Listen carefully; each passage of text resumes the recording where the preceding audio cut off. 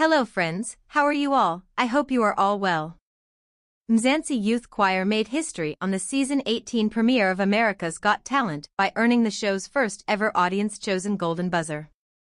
The singing group from South Africa delivered a beautiful tribute to late AGT contestant Nightbird. AGT's Mzansi Youth Choir was formed in South Africa.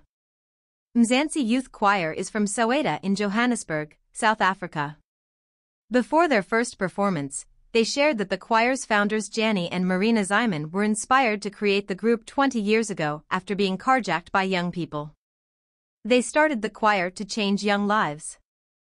According to the choir's website, their goal is affording talented, underprivileged teenagers and young adults the opportunity to proficiently perform locally and abroad.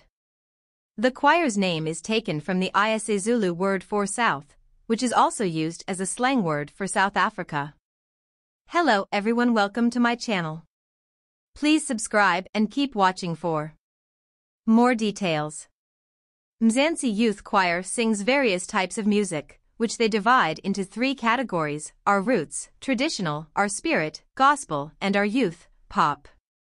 They've released several singles, including a recent cover of Katy Perry's Roar. The choir has also covered Rachel Platten's Fight Song and Miley Cyrus' The Climb.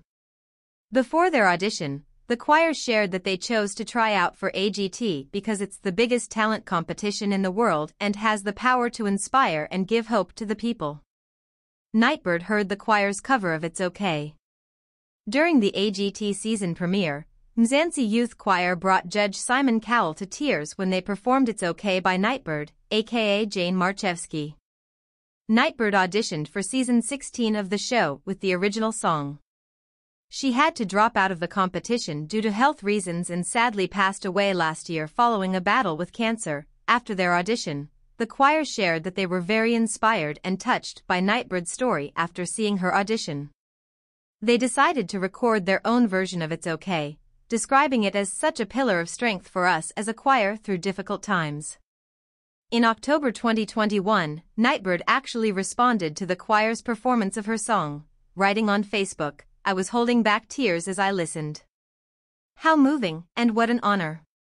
Nightbird also received a golden buzzer from Cowell for her audition, so it's fitting that Mzansi Youth Choir received the first audience-chosen golden buzzer for their tribute to her. The choir will now go straight to the live shows for season 18.